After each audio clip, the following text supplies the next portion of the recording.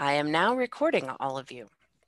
So, okay, so welcome to Fort Collins 1 Million Cups. We're going to start with introductions from people who either haven't been here a while or are new to our group. So who would like to introduce themselves? David, you can give a start. Well, I my name's David. I actually a Denver guy and through a bit of confusion ended up on the Fort Collins things, but I'm very happy to be here with you all. Um, I'm a former IT guy from with an ancient master's degree in computer science. I decided to brush off my skills by learning Android development, and I've written a life-saving mobile app. Mm. People who go out hiking or motorsports, motorcycling, people who go off in remote areas and stuff. Got two patents on it so far. I'm very excited about it. If any of you spend time outside, you should download it if you're on Android. Uh, venture safely. Uh, it might save your life. Fantastic. Thank you. Appreciate that. And who else uh, would like to introduce themselves this morning? John, good morning. Hi, hi, Jana. Hi, everyone. Um, I'm John Garvey. I'm the founder and chief storytelling officer at Garvington Creative. I was just starting to attend 1 Million Cups regularly when everything got shut down. So that's a bummer. But I'm a marketing advisor so I work with companies to make sure that their messaging is super crystal clear and succinct and compelling and enticing. And I'm a copywriter, so I help you tell your story and describe your work in ways that are memorable and that people relate to. Great. Thank you. It's good to see you this morning. And then one more introduction. Thank you, Renee. All right, I'll introduce myself. Hi, I'm Dr. Renee and I work with Helping Parents Parent. I work with parents to help calm the chaos and the overwhelm that typically comes with having children. Basically, I help parents get their kids to listen and behave because I want parents to enjoy parenting while their kids are still young, which is quite challenging right now that they have their kids at home 24 7.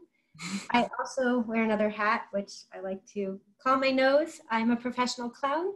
I am Jalapeno the Clown, and I clown around at all occasions. Fantastic. Thank you very much. You're welcome. All right. So, for those of you who haven't been here before or have Zoom fatigue to the point where you don't remember what day of the week it is, uh, two things I would like you to do for me. One, I would like you to open up uh, the participant box that you see down at the bottom, and you'll see your opportunity to raise your hand or uh, make other kinds of fun icon commentary as we go through that. We'll be using that for me to call on people as we have comments and feedbacks for our presenters. The second box I'd like you to open is, of course, our fabulous chat box. And you can um, make commentary, answer some questions, do fun stuff over in there. So that is an option. So we're going to start this morning. We have two presentations. Uh, we have wolf and heron and then cow tipping. So we have an animal themed day going here. Uh, so extra bonus points for anybody who brings an animal into the Zoom meeting today. I may have to go find my cat. And uh, so we'll get started with that. We're going to have Stephanie Judd uh, with Wolf and Heron who will be leading out. For those of you who remember, Stephanie's presented to us a couple of times before and may remember that she is a fabulous uh, roller derby girl. But since that's not the thing that she's doing right now uh, in lockdown, she has taken up aerial silks. So for those of you who are not familiar with that, you absolutely want to go look that up. Stephanie, if you'll take it away. Lovely. Let me share my screen so y'all can see what I'm looking at. And I'm going to try to just, can y'all see? Yes, I've got your PowerPoint presentation. All right. Cool. Well, thanks for all all of you for listening and thank you for in advance for the feedback that you give because I always really really value and enjoy getting feedback from this particular group. So thanks for the platform and the time. Um, my name is Stephanie Judd. I'm a founder of Wolf and Heron, and today the discussion I'd specifically like to have with you is on our product strategy as we try to navigate our new COVID normal. Yay! I'm going to ask you Um, I'm going to take you through a little bit of our history as a business and focus specifically on our influential storytelling offerings. Um, and now that the world has shifted, we need a new way to think about our product strategy around our influential storytelling offerings. And I'm hoping that I can source ideas and frameworks and experiments to try from you all and maybe even get some, some thoughts on how to potentially market the ideas. Let's start with a little bit about who we are. Uh, Wolf and Heron is a company that helps people lead with inspiration and convene powerfully. Everything we do is supported by our expertise in influence science, inspiration, and human engagement. We have three pillars to our organization, meeting design and facilitation, professional development, and one-on-one coaching. Meeting design is really, for the sake of today, it's largely a consulting service, but it has within it a product that we offer that's called a meeting in the mailbox. And that's essentially a kit that provides whoever purchases it with all of the tools and skills and materials and everything that they need to lead a really engaging meeting or really in, interactive and engaging meeting um, on one of our topics. Uh, professional development is primarily a teaching and training service, and it's where we offer high impact, we do the facilitation, but we offer high impact in person learning experiences on one of our topics. And then, of course, one on one coaching is exactly what you would expect it's telephone conversations. Um, and again, it's usually centered around one of our topics. I'll get to the topics in a second, but for your context, something that's worth noting our professional development business is by far the biggest part of our business it was about 80% of our revenue in 2019 and meeting the mail like the meeting design and facilitation and our coaching made up the difference um, if you think about these as pillars, these three pillars, across each pillar is what we call, um, what we have is our topic centers. So things like uh, we teach influence power, confidence, presentation skills, networking, grit, all of the things that we know from our experience and um, knowledge of influence science, all of the skills that really help people show up powerfully, lead meetings well, really engage people as from from a leadership perspective, irrespective of what their titles are. Um, influential storytelling is by far our most popular topic area. And actually in 2019, the, the, the three pillars combined just for influential storytelling made up 64% of our revenue. So it's a big, big, big topic for us. Um, storytelling is the hottest Google ad word that drives traffic to our website. It accounts for almost all of our inbound interest and was responsible for more than half of our revenue. Um, we have a meeting in the mailbox kit. In this particular, the storytelling meeting in the mailbox kit is actually one of the few that we've been able to sell to people we don't know, which was a big, big, um, you know, win for us last year when we were like, whoa, a stranger purchased this. This is amazing. Um, our workshop, our in-person workshop on influential storytelling is driving just by itself more than half of our business. And so you can see the numbers at the bottom there are the total amount that the storytelling counts for. So all, this adds up to, to 64% of our revenue. And it gives you a sense of how important the storytelling topic is to our business. Well, COVID happened. Wah, wah. the professional development and meeting and meeting design and facilitation is largely built around in-person experiences people have to travel people have to get together in a room and well that died and so we're now at a place where we have to think about how we want to repackage our storytelling content in a new way so if i were to look at the new normal one of the things that did happen in March was that we very quickly converted our, our in-person workshop into a virtual experience. And we were actually able to deliver it a couple of times to the, to the corporate clients and the universities that we already had standing engagements with. Um, but that was two months ago now, and we're not getting any new inbound interest on, on storytelling in general because, well, companies aren't investing in L&D we have been dominantly a B2B business. We sell largely into organizations and companies that are thinking about developing their people. And right now, that is not what they're doing. They're trying to hold on to their business. And so we're kind of like, okay, what else are we doing? But what has been interesting since the COVID crisis started is that we've seen a side effect is that all these individuals have more time. Um, if companies aren't investing in people, people are investing in themselves. And so we've seen our coaching practice see an uptick. We've actually gone from about three to four clients on a, in a general month to now we're almost at 40, which is kind of amazing. Um, but the problem with coaching as a whole is that it's not scalable to the level that we'd like to scale to. When we can do our B2B stuff, we can charge much higher price point and coaching really is trading time for money and my business is only me and my partner and the two of us have only a certain amount of time and we can't scale it up the way we'd like to if this is going to be the new normal that we're living in. So we have to think about we have to think about other ways to deliver our content, package our content in a way that's going to be interesting for now, we're focusing on storytelling because that has been historically the most popular thing um, that we offer. And and we know people still are interested in storytelling because they're coming to us for storytelling coaching. Um, but we, we need to figure out a different delivery mechanism. And so that's what we're that's what we're experimenting with.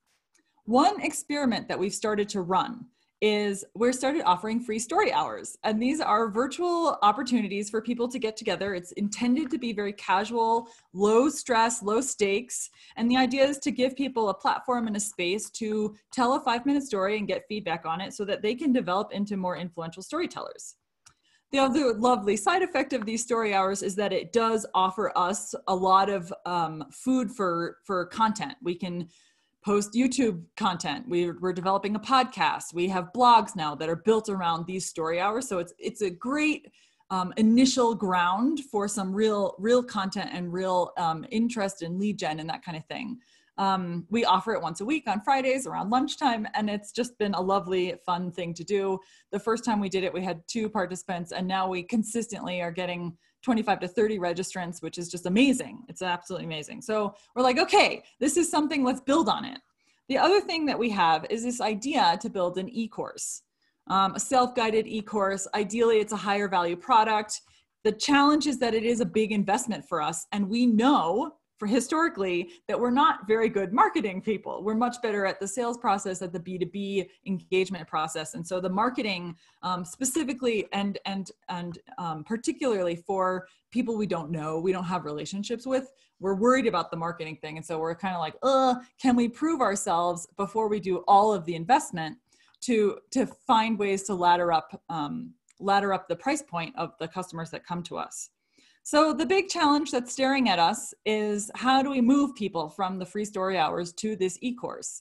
We of course have story coaching and of course we have the virtual and in-person workshops, but who knows if the in-person workshops ever gonna be something we can develop.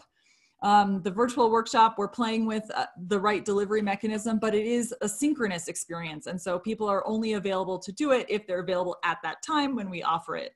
And so it has its pros and cons. The story coaching, of course, has its pros and cons, but we're kind of curious what else we should be thinking about. How else should we be packaging our inf- our content and our information? How should we be making this available to customers and encouraging the come? What should we be doing? And so that's what i'm here for ask you for ideas frameworks experiments. Perhaps you even have some thoughts around maybe sequencing this in a different order.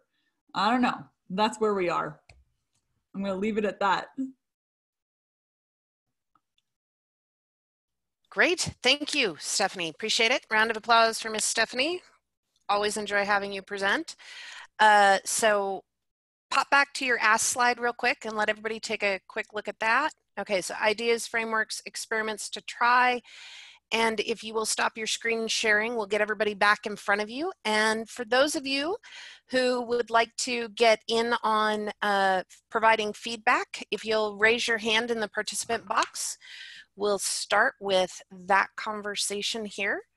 Um, and it looks like, John, did you have a comment or feedback you wanted to start with? Sure, I hadn't, I was, uh, I didn't actually raise my virtual hand, but I, I do have some thoughts. So I, I pulled up your website and I think as a slogan, okay, lead with inspiration, convene powerful, power, powerfully. I think that's a, that works great as a slogan. Um, it's not really, one thing that I always think when I look at someone's homepage is would someone who had never heard of you before immediately understand what you do and why it matters to them and, and what problem you help them solve, what opportunities you create. So if you want to push, I mean, the storytelling coaching is your primary source of revenue and it seems to be what you really enjoy and what you're good at, I would ha- I would just have something very like maybe a 15 or 20 word um, like one liner at the top of your site that says something to the effect of uh, leverage the you know we coach people to tell powerful stories that help them achieve greater impact and you know whatever because mm-hmm. What i'm hearing john say really clearly to me is is also the thing that i'm i'm kind of sensing is that i'm not getting a clear value proposition mm-hmm. based off of the shift in priorities in the economy so I, the, you have a phenomenal value proposition in the regular time frame but now right. now we're looking at like how do we help people understand that this is of value to them to keep keep their company running right yeah and so that's you've got to speak to the moment in it and i think that there's yeah. there's some potential in that matt how about Go ahead. Well, one of the one of the things that we've been, and this is actually a sort of a separate existential process problem, but Wolf and Heron has always been an influence company, and mm-hmm. one of and yet 64% of our revenue is storytelling, and so we do have an existential question like, are we actually just a storytelling company, and should we just let go of the rest of it? I have and, thoughts about that, but I want other people to talk first. Yeah. so, uh, Matt, what have you got for Stephanie? Um, you one of the things you brought up was about the um, the problem with having to have synchronous interaction mm. for the for the the coaching sessions or for the storytelling group sessions. I forget what it, what it's the the specific the item. Workshop, yeah. Yeah, the virtual workshop. Um, I wonder if you might be able to move it to a more asynchronous format. Um, now you don't want to lose the the human to human interaction because since we're all socially isolated, that's mm-hmm. huge. Um, mm-hmm. Like any level of, of human interaction is incredibly important. Um, but you may, you know, if you're, if you're coaching these people or doing workshopping stuff and, and you know, having more than just one interaction, mm-hmm. it might work to have, you know, your workshop group meet once synchronously. Everybody, you know, tells a story or says hi. And then you could do a couple of coaching sessions asynchronously individually where people would record the video uh, you give them feedback and then you can bring everyone back together mm-hmm. and then you also get this uh, as a participant they would also get this awesome bump in confidence where they go from being terrible at telling stories the first meeting then they only work with you and then everybody comes back and everybody is mm-hmm. way more awesome at telling stories so you have this huge mm-hmm. emotional boost um, of confidence that would probably help them like keep the habits and move forward rather than just be like okay well there's another skill that i paid a lot of money to to get Right. So that was just a thought that occurred to me. Yeah, that's an interesting idea. Okay. So it sounds like you're recommending some combo of the coaching and synchronous learning and asynchronous. Right. Um, just yeah, because I mean it's yeah. you gotta you gotta be adaptable. Of yeah. course, it does wind up being very time intensive for you. Well, right now I've got time, so well, there you go. so many of us do. and I've I've also been noticing uh, a lot of innovation around how do we deliver online courses without an online course platform because it is an investment, as you said, they're expensive. Right. And so, does it work better to do worksheets and using a Vimeo account where you can create passwords for the video and then send people that mm-hmm. link with the appropriate password so you don't actually have to invest in a platform until you figure out that this course actually will work right. for what you're looking for, right? Um, uh, yes. We've, we've developed that some at Trebuchet Group and it has been really helpful and incredibly low cost in that regard. That's good. That's Ozzy, good. your feedback? Whoops. Sorry about that. My uh, computer blinked just as I went to mute. Um, was it, let me start by saying something positive about what you put out there. And, and you mentioned experimenting. And that's going to be critical for almost every business going forward because we simply don't know what the emerging environment is going to be like. We don't know if there's going to be more lockdowns. We don't know how people are going to react. There are those who are uh, really scared and want to wear every PPE imaginable, and those who are fed up with it and just want to be left alone. And so there's this whole range of issues that you're facing, and no one really has an answer because in many ways there's no answer, no the answer to be had. So that's um, kind of a key issue. One of the things that we're doing for businesses, one of the things we did was to come up with a framework, and you mentioned that.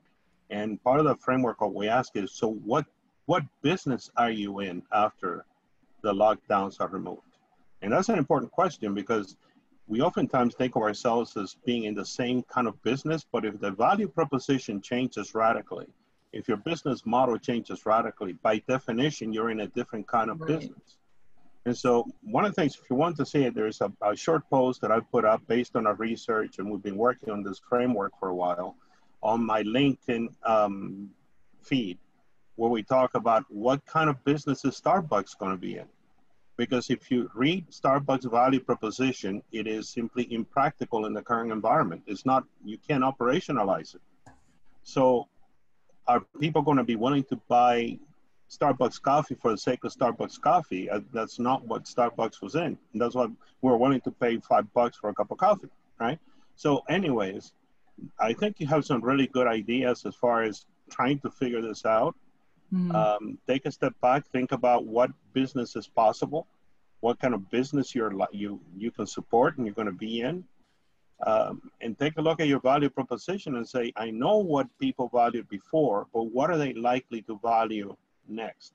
And then test those. Those are where those little experiments can really you know deliver an awful lot of uh, insights. Uh, and again just go to my linkedin profile if you want to see what we're doing with starbucks. I think it's kind of revealing because we i picked starbucks precisely because it is almost we think of them as a coffee place but actually they share an awful lot with a lot of businesses. So anyways just a few thoughts thank you ozzy all right uh, renee Mine's just short. I, I really enjoyed what you're doing and I loved how flexible you're being. Um, one of the things, because I do a lot of one on one coaching that has been helpful to leverage, is to offer group coaching. Mm-hmm. And so it's not quite as formal as the classes, which are also a great way to go because those can be passive income that are up there and running, which you can get into and be live if you want, or offer a Q&A session if you want, or you can leave them.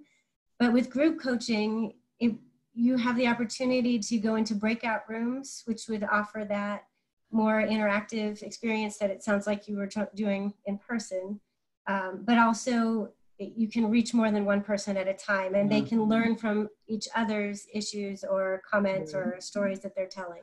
What's an appropriate price point for group coaching? That depends on the value you're bringing and what people are willing to pay. yeah. Right. I, I, tend to do a little bit less in group coaching because right. there are more people there. Um, but I, I wouldn't drop the price point too low. Yeah. Yeah. Okay. I mean, in some ways, that's kind of what our story hours are. It's a, it's a little bit of a group coaching session. Um, and we're offering those for free right now. We've had a few people suggest that we charge for it, but I just, I don't know. There's something kind of lovely about the free offering that is just oh, it's so heart centered for me that I. well, there's also the fact that if you've got people who are coming back for a free offering over and over and over again, at that point, it starts costing you significantly. So, first three sessions are free, your next are you know 10 bucks a piece oh, or whatever that looks too. like so that there is not a sense that what you are providing is is without value right? If you allow people to do right. free long, it gets to a point where they stop thinking you're valuable. That's a good point. Regard. David, your feedback, uh, and then we've got one more, uh, and then we'll move along here.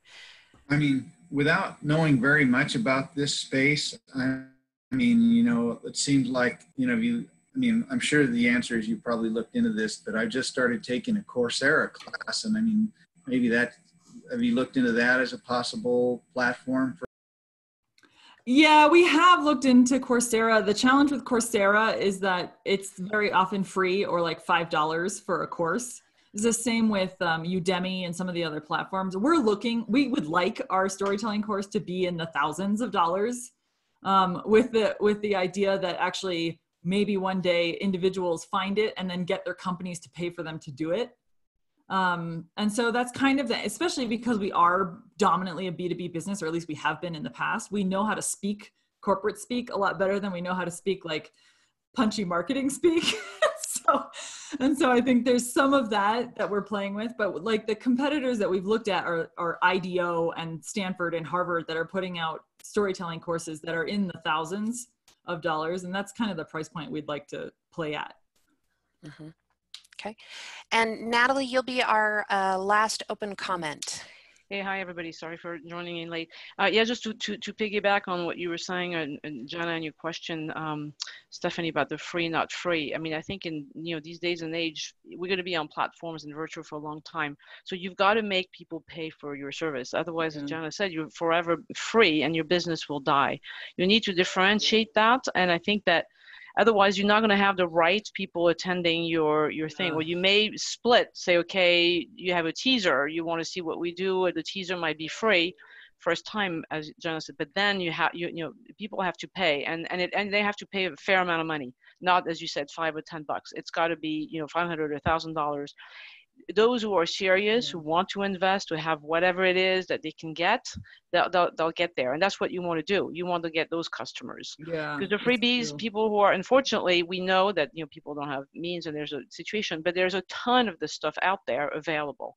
You're in a different market. You have no reason yeah. to change your market.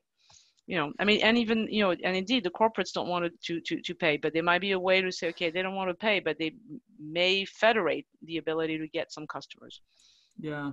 We have a, a, couple sales guys actually who have apparently they they just have a you know corporate budget and they're allowed to spend below $2000 a month on professional development so we were like okay price point at 1850 bucks like you know and so we've been playing with that and, and it's still corporate money but because it's not going through the the learning and development team um, there's fewer gates actually that need to be crossed if we keep our price mm-hmm. point down yeah below you, two grand. Yeah.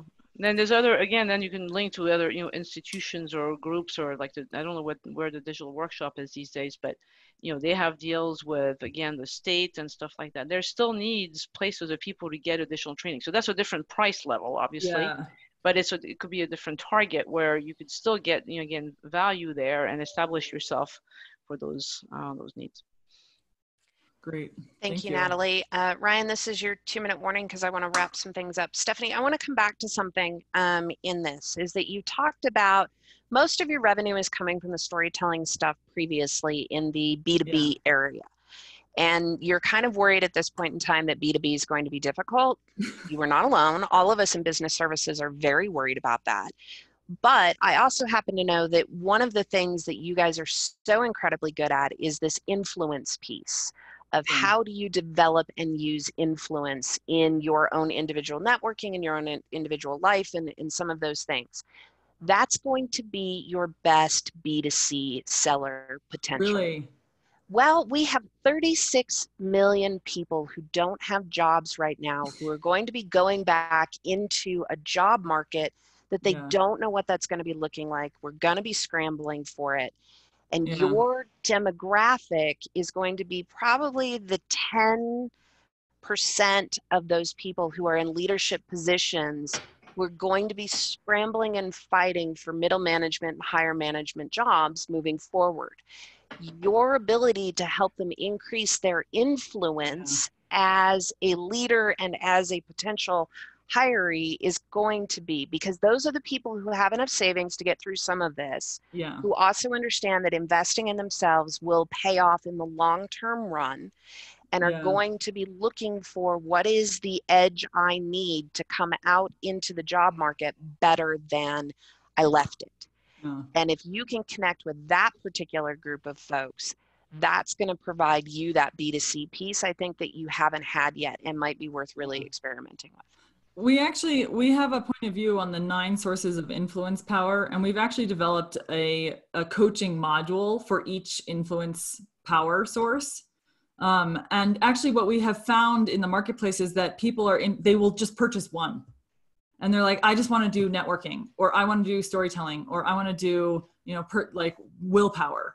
And so that's been interesting. The price point because it's just a one-off the price point is low, but but administratively it's very easy because we have the workbook sent and we just do a one phone one hour phone call and it's done. But it's very transactional and we're Yeah. kind of we're i would love to get to a place where it can be more relationship oriented and i you know we'll see we'll see but but i i think that's a good question especially because we've been having this existential crisis about are we an influence company or are we a storytelling company and maybe that will shift the this whole covid thing will shift us more towards the the influence uh, content area again um, or more holistic because storytelling is important for influence but it's it's just so narrow Yep. um, compared to the bigger picture so yeah we'll think about that too Great.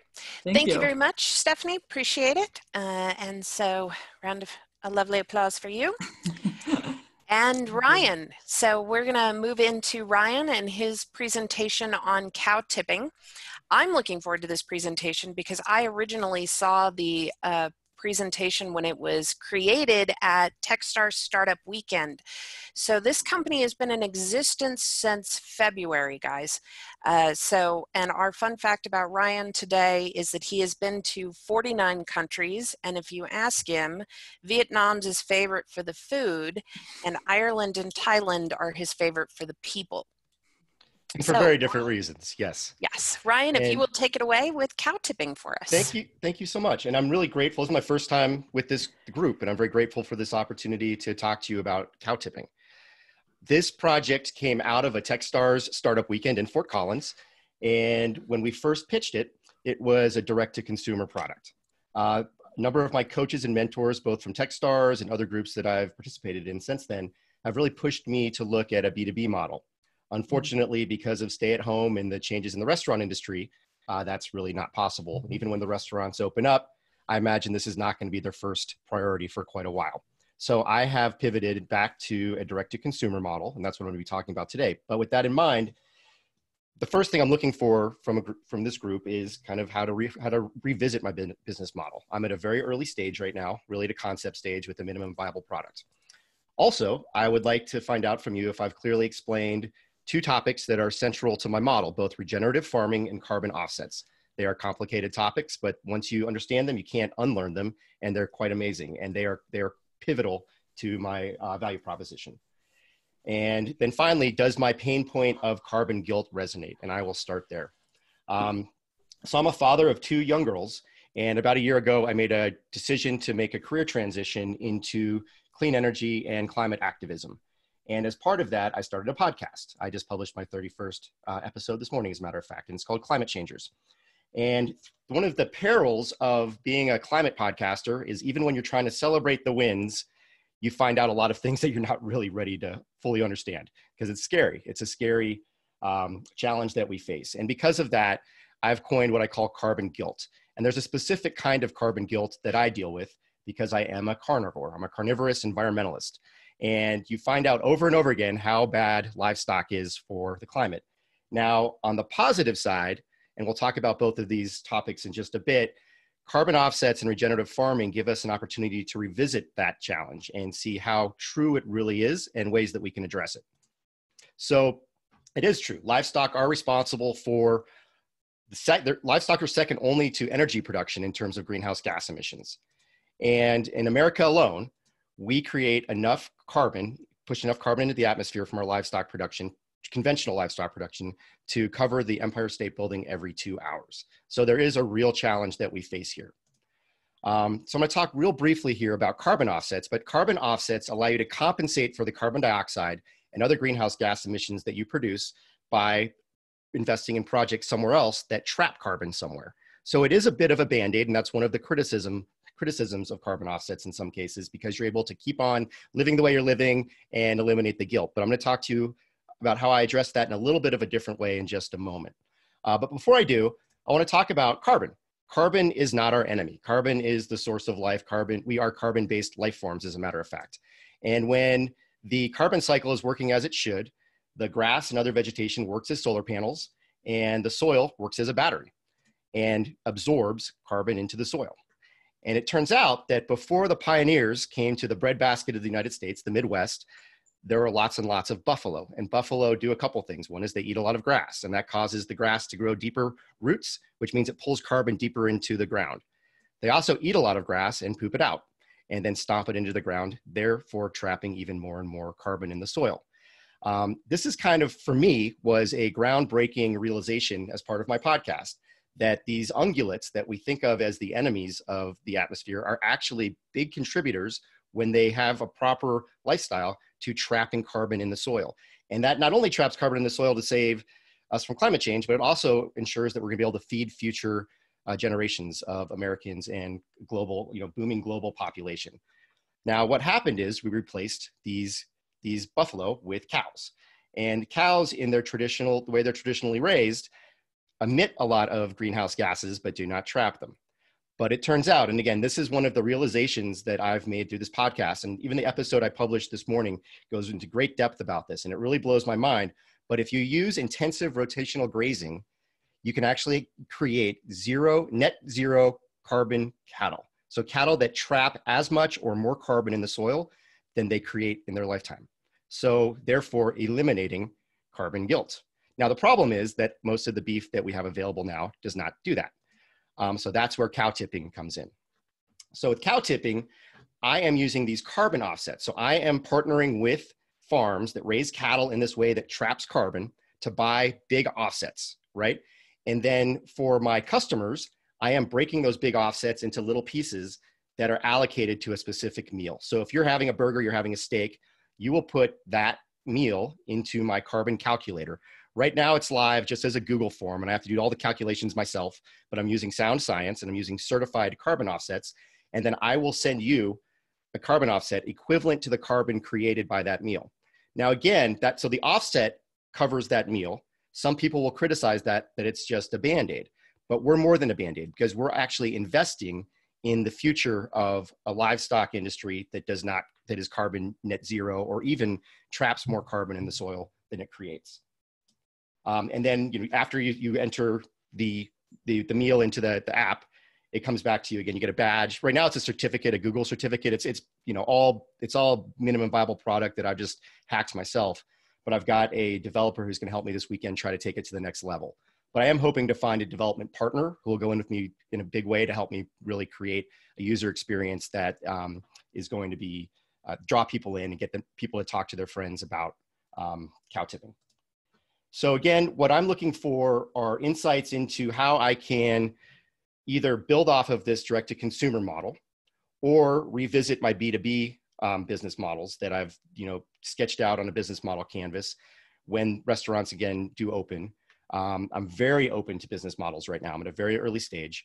I also want to be sure that I was able to, in this short period of time, explain regenerative farming and carbon offsets. Some of you may already have known about it, probably carbon offsets, but regenerative farming, I'm a climate activist, and it still blows my mind when I talk to these people about what you can do with regenerative farming. And then, crucial to my entire business model is does this pain point of carbon guilt resonate with people? Will it be enough to motivate people to enter their meal into the app or whatever business model I end up following to you know have a tip line at the restaurant that that offsets that meal. Um, so I'll be really curious to hear that. So in terms of my contact information, uh, Ryan Flahive, people call me Flavor or Flaves. Um, and it's cowtipping.co. That's just, we were given a free CO URL at the startup weekend. Um, and someone owns the .com. And even I make the mistake all the time of, of writing .com. But cowtipping.co, the carbon calculator is live now. I'm not charging for it. So it's free offset. So I encourage all of you to go in, try it out, and I will send you a certificate of a certified offset. Um, Climate Changers is my podcast, available on any platform that you use for podcasts. And then my um, consulting company is called Backbowl Strategy, and it's an environmental and um, and uh, climate consulting company. Great. Thank you, Ryan, very much. Appreciate it. Thank you. All right. If you will pop us back to your ask real quick so that everybody can put oh, that ask. in front of them. Sorry. Or at least tell us what it is again so folks can. So we're looking for business models, whether or not carbon guilt is really a thing, and what was the third ask you had, Ryan? Oh, can you not see my screen? No, not anymore. Oh, sorry. The third ask was whether I was clear enough in explaining regenerative farming and carbon offset, offsets. They're critical to my business model, and especially regenerative farming is a very difficult concept to explain, especially in a short period of time. Um, but people need to understand it in order to understand why my product adds value. Okay. I will tell you that I totally get regenerative farming based on just what you said there. So we're good there. Uh, first hand up is Andrea. Lovely to have you with us, Miss Andrea. Hi, thank you. Can you hear me okay? Yep. Okay, super. Hey, Ryan. Um, love what you're doing. Um, I too was a climate activist in a sense, and I, I decided to be vegetarian because I couldn't handle the the carbon, uh, you know, cost of eating uh, livestock. But I really like meat, so I had to make a choice. So I get where you're coming from on this. My uh, my thought is in relation to business model. Um, have you considered something like a subscription box or, um, you know, uh, sponsoring an animal, something like that, um, where you would have these pretty much guaranteed payouts, right, uh, monthly or however that would work, instead of having to do the uh, thing that most of us really suck at doing, and that is entering our meals. Because I don't know if you've ever been a meal tracker trying to lose weight, but uh, yeah, you do it for like a day and you're like, I'm over this. so I feel like that's a little bit labor intensive on the front end for your for your consumer. I wonder if instead you could, you know, categorize them as like a, you know, moderate meat eater to a severe extreme meat eater or something like that, and then offer a subscription where they could, uh, you know, pay off their their debts uh, in a sense. So I don't. Had you had you ever considered anything like that? That's a brand new, wonderful, amazing idea for me. Thank you and it okay. does that is one of the challenges even for myself I, I catch myself not doing what i'm supposed to do with my own application at times so yeah it's just i feel like it's a little bit of the front end of the work and you know i even think to go further with that is you could create a culture around these extreme meat eaters right like we have this whole diet right now called carnivore um, i'm sure you've heard about it and everybody's eating like only meat but it doesn't mean they don't love the earth so can you not even make you know marketing stuff like t-shirts or um, whatever that says, you know, I love meat and I love the whatever. I'm a carnivore and I save cows or something, right? Um, that would take it even that further step where people start making this a community that they can engage in with each other. Like, hey, we can have our meat and eat it too, right? in a sense. Right. Thank it. you, Andrea. And then Matt, I'm going to come to you next. Um, have you, as far as uh, trying to expand your your reach, you know, once once you've gotten kind of out of this this MVP MVP phase, um, have you tried reaching out to Joel Salatin? Because I, I assume that that the regenerative farming thing is kind of based on what the work he's done. Because I have an uncle who's a huge fan of Joel Salatin and is actually doing the paddock based grazing up in kind of northern Minnesota. Um, but he, I mean, I, am sure that people reach out to to Salatin so much with questions directly related to kind of what you're working on um, as a way to sort of uh, micro disperse that those benefits of regenerative farming to, to coin a new term, I guess. I, you know, I'm unfamiliar with Joel, and um, so I'm taking note. I'm going to do some research and invite him to be on my podcast. So that okay. I, that's that's the beauty of the podcast is I can get pretty much anyone to meet with me, who maybe not meet with me otherwise. So um, thank you. That's a great suggestion. Yeah, um, I'm just going to throw his website in the chat for you. Yeah, great. Thank you, Matt. Uh, David. Hi there. Um, so I have a couple of thoughts. I mean, so I think there's a problem with trying to get people to create a new habit of like, you know, putting their meals into this app and all this kind of stuff. But I think where you might be more successful would be going more to the source. So, for example, you know, if you eat at a Red Robin or, you know, when we can do that sort of thing again, they have those little electronic devices on the table. And if you could partner with them and have a little app on that device or something in their software that would prompt you, say, do you want to donate 89 cents to make your steak dinner or your hamburger carbon neutral? You know, so put it right there. You know, or another one would be to partner with the grocery stores and have it where at the time when you check out, you've got this whole basket full of meat and, and the and the grocery store software knows what you just bought and it could quickly calculate okay you need to put in two dollars and 47 cents you know to support regenerative farming you know and and i think that's where you can if, if you can get those sorts of things to happen i think that's where you can build it in so that rather than to get to train people somehow to have a new habit of getting out this app every time they eat something. I think, you know, if you can sort of build it into the source and have it be a part of something they're already doing where there's just a little prompt that shows up, I think you might have more success that way. Those are those are great ideas, David. Thank you. Um, one of the challenges, you know, as we all know, is that those businesses aren't really running yet. Uh, so I'm really hopeful to try out ideas like that um, when they are and when they have bandwidth to talk to me. Uh, one thing I will that I did I should have put in my presentation that I didn't is that to offset a like say a quarter pound burger costs two cents, believe it or not. So it's a very that's a one if, if one of the important. concerns if one of the concerns you had was oh this is going to make my McDonald's Whopper cost a dollar more, it's not. You know even with a hundred percent markup, it's going to cost like four to six cents. I want to get us through Stephanie and Greg, uh, and then we'll need to wrap up. There is also a tremendous amount of commentary in the chat when you get done, Ryan, uh, around how we all feel about the word guilt. And I, I think I probably kicked that off with the thing that I need none of the, I need another thing to be guilty about. So you've got some good feedback in there on that. Uh, Stephanie, you first, and then Greg. And Matt, I don't know that we'll get to you for a second round, but we'll see. Um, I've been thinking about this from the influence perspective and what inspires people to do things or not do things. And there were a couple ideas that came to me. One was um, gamification.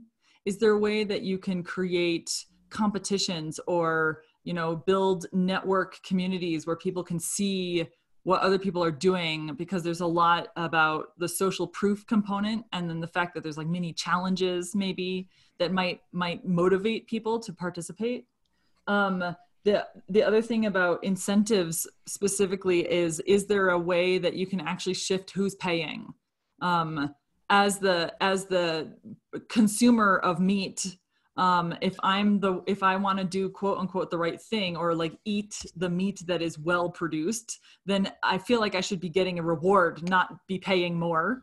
Um, and so there's something about who who is paying and how and how you structure that um, the payment model um, and then the third thing, from an incentive perspective, guilt is actually the worst thing that you can do. For, sorry, from an influence perspective, um, nobody wants to feel guilty, and when they do feel guilty, they generally go for immediate. Um, they want they look for a salve, and so the people who are guilty about having like breaking their diet are the ones that then go eat ice cream, which is completely counterproductive, but it is how we behave.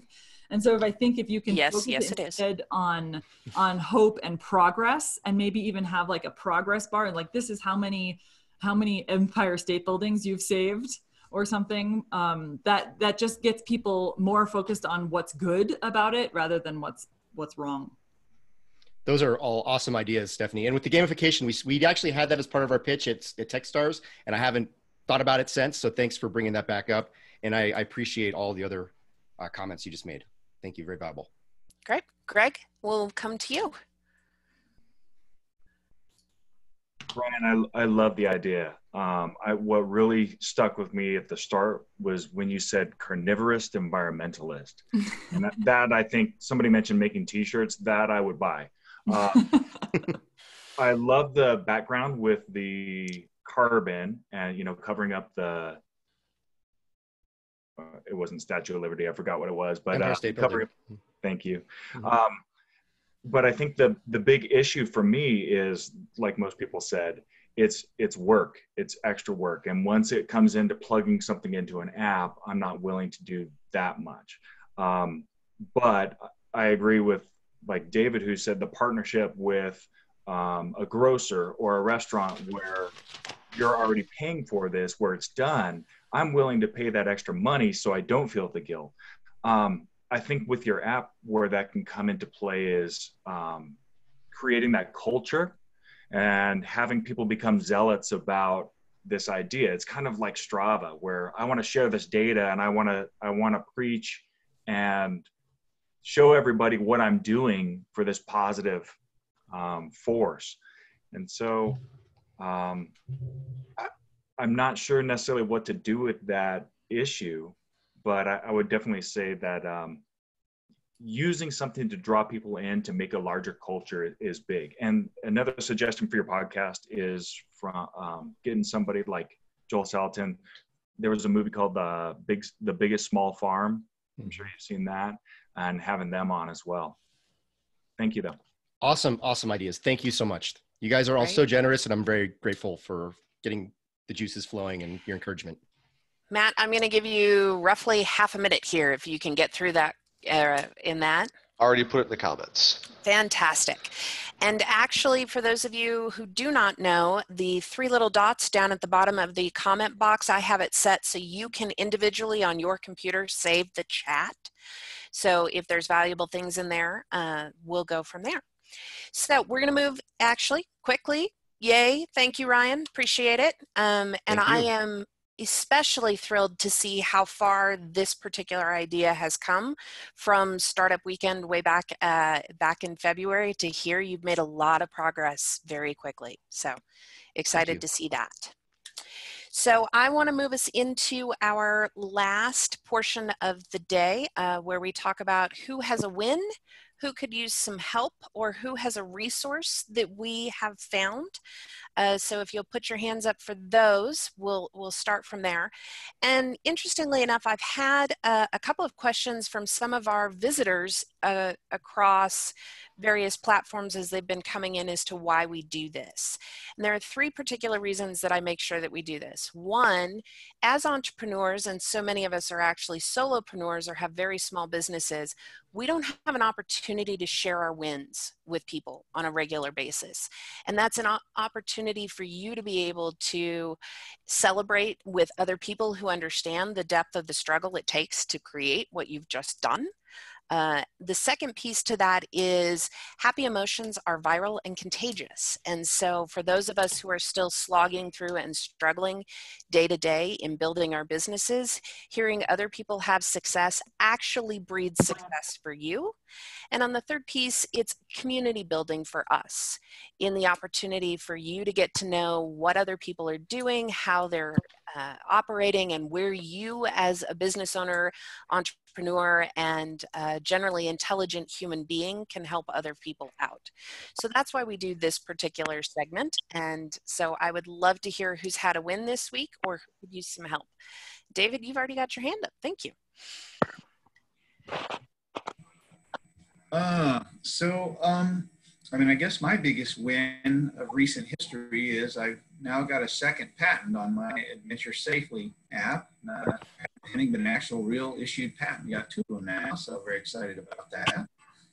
Um, where I could use some help is so I've spent about seven, eight years writing this app. It's intended to like people who go out hiking, mountain biking, uh, go off off-road motorcycling, etc., camping people who go outdoors, it's intended to share your location via text message with someone back home. Text message being used used because they get through when you don't have internet and things like that oftentimes. But so I've got this thing, it's free. People can download it right now, and I've got about 50 downloads. And you know, this was my spring to like really get this thing off the ground. And everybody's thinking about the virus, but on the other hand, you can't go to the movies but you can go camping, you can go hiking. So it seems like if I just get this in front of the right people, it should get some traction and take off. And so if any of you have any suggestions about that, I'm an IT guy, I'm not a marketing guy, and I have all the success to prove that.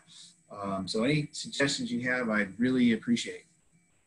First place I will tell you, David, uh, having been active, is any of the Reddit threads that have to do with Colorado hiking and camping. Because Redditors love this stuff um, and they're helpful and they're great. So I would start there uh, and, and move from that. And then anyone else calling with good ideas, A couple segments of the meeting. uh, anyone else can kind of move through that. Harrison, how about you? What have you got to share with us? Uh, well, I finally got the coloring card deck done and got that to Mike yesterday, so uh, that was a good win. Um, and I also got a call um, this last week from somebody who is doing a book review on Art for the Masses instead of the Asses. And we'll, we'll be doing a Zoom interview with her as well uh, that she will uh, record. So that gives marketing information out there uh, as well. Uh, so, so that was, you know, a second Chris Um, has your book handy to show it off for us all here. yeah, it's a great win for us, Harrison. So to have your art with us. That's fantastic. Very excited to hear that, Harrison, and I can't wait to see the Color Pocket deck uh, in its full glory. So that'll be great. Anyone else with wins or help needed? I know that I have some help I need. I am posting here uh, in the chat right now. So Launch NoCo is putting on next week on Thursday morning a three hour online interactive workshop for people who are setting up their businesses and need to get through the appropriate paperwork to do that. So there are three types of people who would be useful to have at this. One, you haven't set up your business yet and want to make sure that you get all of the right paperwork, insurance, bank accounts, all of that kind of stuff done. Or two, you've set up your business recently and you're not sure that you've finished all of the crappy paperwork that goes with putting your business together. Or three, people who are helping other folks figure out how to start their businesses. This is a good informative workshop so that you make sure you have the information you need. Uh, I'll be publishing the schedule for that later today, but it is designed primarily to be able to do the work while we are in the workshop. So we'll take you through setting up Secretary of State, getting your EIN, what paperwork do you need to get your business banking account, and Elevations Credit Union will be on the call, setting appointments to actually open your business banking accounts. We'll have what insurance you need, uh, what contracts and other legal documents you might need, and then we'll also have how to set up your uh, accounting and prepare for your quarterly taxes. So those things will all happen next week. Um, and I would love for you guys to help me get that word out. We're really aiming for 20 to 25 folks in that. Uh, and we will be working with the cities to make sure that we have the appropriate paperwork for each individual city that you need to file and those sorts of things. So I would really appreciate you guys helping us get that kind of word out. Any other wins? I know Renee had to run, it looks like, but she had one. Uh, her oldest daughter finished her AP test on Wednesday and is now a high school graduate. So, all of our graduates who are coming around out there. Stephanie, what is yours? Um, well, this is sort of a fun one. Um, I hired an intern which is just kind of really cool. So that's we we uh, we managed to get somebody who's going to help us internally with our marketing, which is just fun and and it's exciting to have um, to grow the team in some ways. Even though it's a short term thing, it's it's fun. New vibrancy is always a great That's thing. That's right. That's right. Fantastic. Any last last call? All right, so we are at 10.01 and I appreciate all of you guys coming and showing up and providing fantastic feedback this morning. And we will see you next week. As always, if you're interested in presenting, reach out. We'll have slots in the latter half of June. Is the link always the same every week? It This link is now the permanent link, yes. Lovely. All right, thanks. Bye. All y'all. right. Take care. Thanks, guys. Take care.